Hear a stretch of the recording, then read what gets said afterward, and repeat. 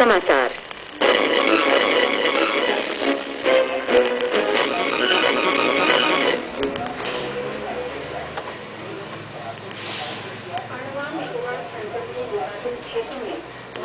सूची संशोधन का कार्य शीघ्र आरंभ होगा। परिवहन निदेशालय ने एटीआर एक्सप्रेस बसों के टिकट रद्द कराए जाने पर लगने वाले अतिरिक्त शुल्क की दरों में संशोधन किया है। अंडमान निकोबार कमांड की ओर से आज भूतपूर्व सैनिकों की रैली का आयोजन किया गया है।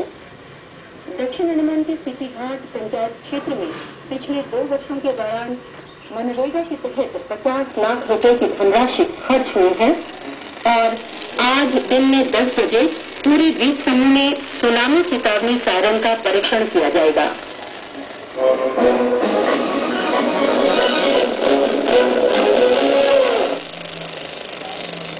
समाचारों के इस अंक में श्रीनाथ वशिष्ठ के साथ मैं, रीता बैनर्जी।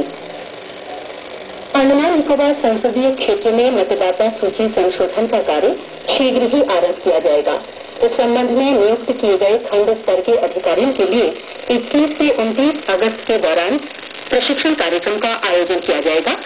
उप मुख्य चुनाव अधिकारी सोम नायडू की ओर से जारी विज्ञप्ति में सभी खंड स्तर के अधिकारियों को सूचित किया गया है ये प्रशिक्षण कार्यक्रम सभी तहसील मुख्यालयों में आयोजित होगा।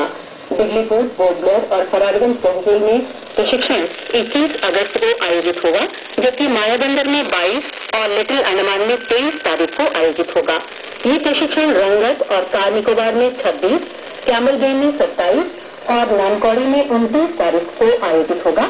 इस संबंध में विस्तृत कार्यक्रम संबंधित क्षेत्र के सहायक चुनाव पंजीकरण अधिकारी की ओर से जारी किया जाएगा। परिवहन निदेशालय ने एटीआर